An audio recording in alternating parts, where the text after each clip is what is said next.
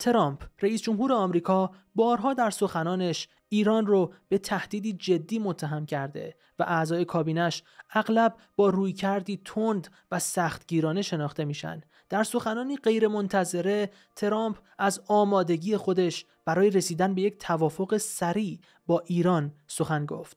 اما این تنها بخش کوچکی از ماجراست. ترامپ در یک مصاحبه با العربیه اعلام کرد که قصد داره ایران رو به توافق ابراهیم هم وارد کنه و حتی گفت ایران و اسرائیل ممکنه که به یک اتحاد راهبردی دست پیدا کنن. این سخنان نه تنها عجیب بلکه متناقض هم هست. سوال مهم اینه که ترامپ در روزهای اخیر در مورد ایران چه سخنانی رو مطرح کرده. در این ویدیو به بررسی این اظهارات خواهیم پرداخت و فقط به منابع معتبر استناد می‌کنیم.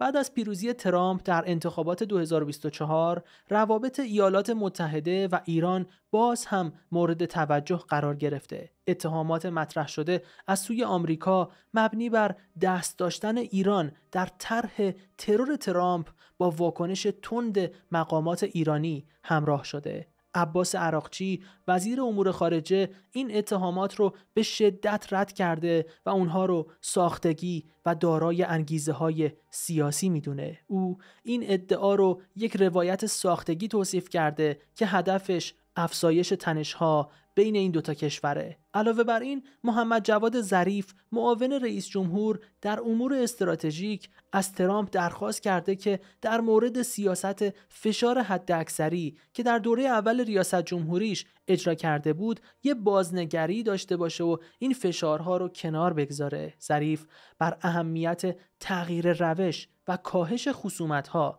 تاکید کرد.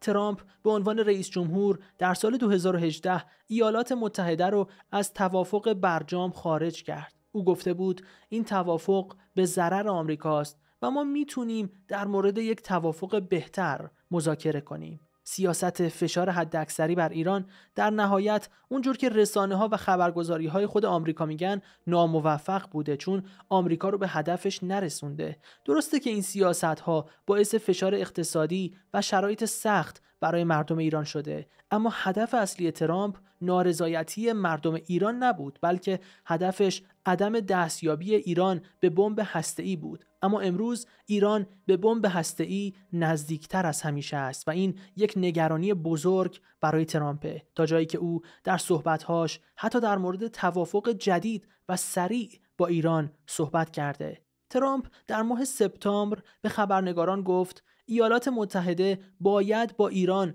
برای توقف برنامه هسته‌ای به توافق برسه. با این حال ترامپ به اسرائیل پیشنهاد کرد که به تأسیسات هسته‌ای ایران حمله کنه. اسرائیل برنامه هسته‌ای ایران رو یک تهدید بسیار بزرگ می‌دونه. ایران هم هشدار داده که حمله اسرائیل به تأسیسات هسته‌ای این کشور واکنش شدید ایران رو در پی خواهد داشت.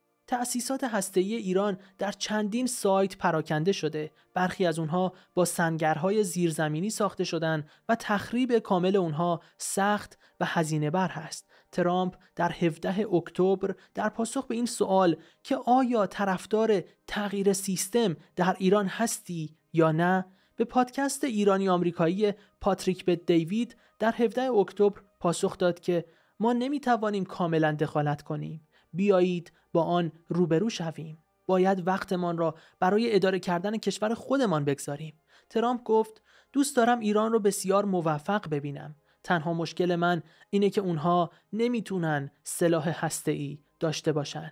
اگرچه دولت بایدن گفته بود که دوباره وارد برجام میشه اما مذاکرات متناوب اونها به نتیجه نرسید. اما در دوره دولت بایدن درآمدهای نفتی ایران رشد چشمگیری داشته. فایننشال تایمز در سی آوریل گزارش داد که صادرات نفت ایران به بالاترین سطح خودش در شش سال گذشته رسیده و چین به عنوان مشتری اصلی این محموله ها شناخته میشه.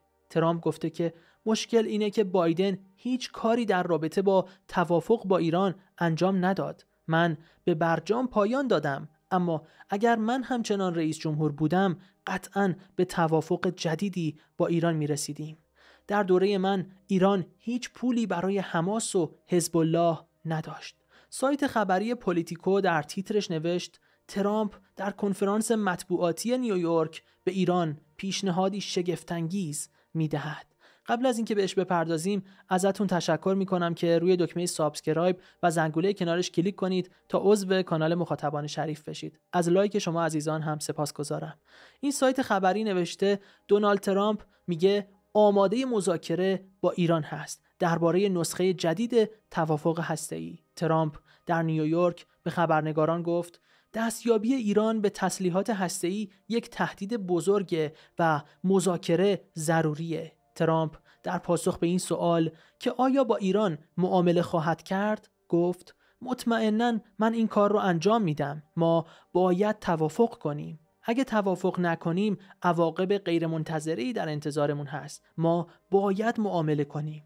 این رسانه خبری نوشته به نظر می‌رسد ترامپ با اظهارات خود در تلاش برای کاهش تنش بین آمریکا و ایران است. سید عباس عراقچی وزیر امور خارجه ایران در سفری که برای شرکت در مجمع عمومی سازمان ملل به نیویورک رفته بود گفت تهران آماده گفتگو درباره مذاکرات هسته است اما او اذعان داشت که تنش‌های خاورمیانه ممکن است تجدید مذاکرات را دشوار کند ترامپ چند روز پیش در یک مصاحبه با شبکه دولتی عربستان سعودی یعنی العربیه گفت در صورت انتخاب شدن ایران رو به همراه حداقل دهها کشور دیگه در توافقنامه ابراهیم قرار خواهیم داد. صحبت عجیبی که ترامپ مطرح کرد اینکه ایران میاد و توافق ابراهیم رو امضا می‌کنه. او گفت توافق ابراهیم در دوران ریاست جمهوری من منعقد شد و هدفش توافق بین کشورهای عربی با اسرائیل بود. هیچکس فکرشو نمی‌کرد که این امکان پذیر باشه. اما این اتفاق افتاد. در سپتامبر 2020 در کاخ سفید این توافقنامه امضا شد و روابط بین اسرائیل و امارات متحده عربی و بحرین و بعدا مراکش عادی شد. ترامپ به العربیه گفت صلح در خاورمیانه تحت رهبری من امکان پذیر است.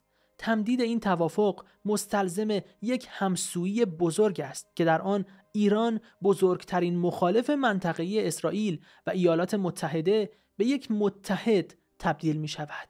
آقای ترامپ هیچ جزئیاتی رو در مورد اینکه چطوری قصد داره این معامله بزرگ رو انجام بده ارائه نداده. بسیار عجیبه که ایران که الان مخالف اسرائیل و آمریکا هست به یک باره به یک متحد تبدیل بشه. شاید جالب و مفید باشه که اصلا برگردیم به اولین سخنان ترامپ در مورد ایران و خیلی کوتاه بررسی کنیم که از سال 2011 تا الان نظر ترامپ در مورد ایران چی بوده. سال 2011 ترامپ به عنوان یک تاجر معروف بر توافق هسته‌ای ایران و خطرات ناشی از اون برای امنیت آمریکا تأکید می کرد. او با بیان اینکه ایران به سرعت در حال رسیدن به سلاح هسته‌ای هست از ضعف دولت اوباما در مقابله با اون انتقاد می کرد. سال 2013 در مصاحبه های متعدد ترامپ ایران رو یه تهدید جدی برای آمریکا و خاور میانه دونست و گفت توافق هسته‌ای با ایران یک اشتباه بزرگه. او اعتقاد داشت که ایران به عنوان یک تهدید جهانی از مزایای این توافق بهرهمند میشه و این اصلا خوب نیست. سال 2015 ترامپ در مصاحبه‌ای با شبکه فاکس نیوز گفت برجام یکی از بدترین توافقهایی هست که تا الان آمریکا با کشورهای دیگه انجام داده. این توافق هسته‌ای هیچ گونه تضمینی برای توقف برنامه هسته‌ای ایران در آینده نخواهد داشت. سال 2016 ترامپ در کمپین ریاست جمهوری بارها به سیاست‌های اوباما در قبال ایران حمله کرد و بر ضرورت تقویت سیاست‌های سختگیرانه علیه ایران تأکید می‌کرد. می 2016 ترامپ در یکی از تجمعات انتخاباتی خودش در ایالت میشیگان گفت من به عنوان رئیس جمهور در اولین روز کاری خودم این توافق رو پاره می کنم. ایران نباید اجازه داشته باشه که سلاح ای داشته باشه. این سخنرانی نمونه ای از وعده های انتخاباتی او در خصوص ایران بود. جولای 2016 ترامپ در یکی از سخنرانی های دیگش گفت توافق ای ایران یه فاجعه هست و به شدت نسبت بهش انتقاد دارم. می 2017 ترامپ از اولین روزهای ریاست جمهوری خودش شروع به انتقاد از برجام کرد. اکتبر 2017 ترامپ تصمیم به عدم تایید توافق هسته‌ای گرفت و اعلام کرد که این توافق هیچ گونه منافع مشخصی برای ایالات متحده نداره. می 2018 یکی از مهمترین سخنان ترامپ در تاریخ 8 می 2018 بود که به طور رسمی اعلام کرد که ایالات متحده از توافق هسته‌ای ایران خارج میشه. او گفت این توافق بدترین توافق تاریخه. ایران باید از تسلیحات هسته‌ای خودش دست برداره. ترامپ بعد از خارج شدن از برجام های اقتصادی شدیدی رو علیه ایران بازگردوند و هدفش هم اعمال فشار حداکثری بر ایران بود تا برنامه هسته‌ای ایران رو محدود و متوقف کنه. ژانویه 2020 دستور حمله به سردار قاسم سلیمانی رو صادر کرد که در پی اون تنشها بین ایران و آمریکا به اوج خودش رسید. ترامپ در یه بیانیه بعد از این حمله گفت این اقدام به منظور جلوگیری از تهدیدات قریب الوقوع علیه آمریکا و متحدان آن بود. ترامپ همچنین از این حمله به عنوان یک اقدام دفاعی یاد کرد و گفت ایالات متحده هیچ گونه تمایلی به جنگ با ایران نداره. ژانویه 2020 بعد از حملات موشکی ایران به پایگاه های آمریکایی در عراق ترامپ در یک توییت نوشت همه چیز خوب است و از اعلام نتیجه گیری خودداری کرد تا نشون بده که او به کاهش تنشها تمایل داره بعد از اون ترامپ در رقابت با بایدن شکست خورد پس از پایان ریاست جمهوری او همچنان در مصاحبه ها و بیانیه ها به شدت از سیاست های دولت بایدن در قبال ایران انتقاد می کرد. ژانویه 2022 ترامپ در یک مصاحبه گفت اگر من رئیس جمهور بودم ایران هیچگاه نمی‌تونست به چنین قدرت هسته‌ای برسه دولت بایدن